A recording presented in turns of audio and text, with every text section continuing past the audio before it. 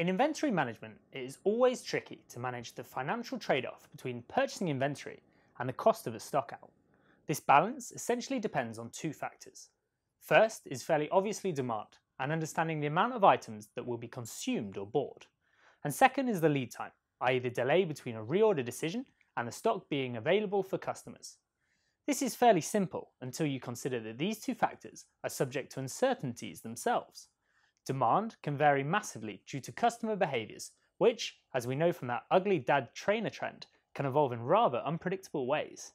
And if you've ever waited ages for a delivery to arrive, you will know that variations in lead time can occur as suppliers or transporters are faced with unplanned difficulties. Unfortunately, if you wait until a stockout occurs, it is normally far too late to place an order. As such, we need a way of controlling this level of uncertainty and being prepared for every possible scenario. This is where safety stock comes in. By acknowledging we need a level of stock to represent uncertainty, we can split our stock requirements into the stock we actually need, or the working stock, and the cushion of stock, which allows us to sleep a little bit better at night. So how do you determine what this buffer should be? Well, unfortunately, there is no universal formula which can be used to calculate safety stock, but many methods account for these random events using a Gaussian distribution. This looks a little bit like the nice bell-shaped curve you can see here. These patterns are observed in tons of physical phenomena, for everything from heights to IQ tests, and from a statistical perspective, it is perhaps the simplest approach to account for uncertainty. The idea is that by having many random events, many results will statistically converge to a normal distribution. A good example of this can be shown with my new toy here. As there are so many balls and they have an equal probability of moving left or right, you can see that they accumulate into an approximate normal distribution.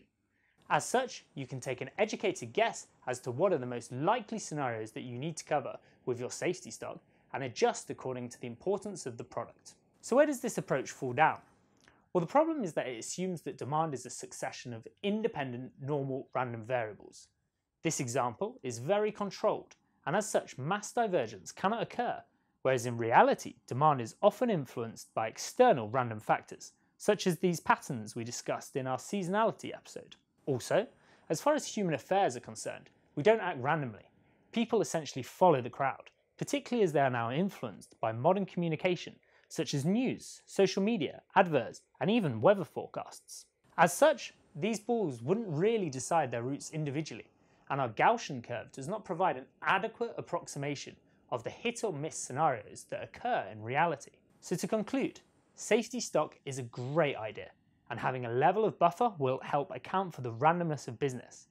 But as supply chains are driven by these things that aren't completely random, a more sophisticated approach is required. So that's everything for this week. If you've got any questions, make sure you drop us a comment below, and we'll see you next time. Bye for now.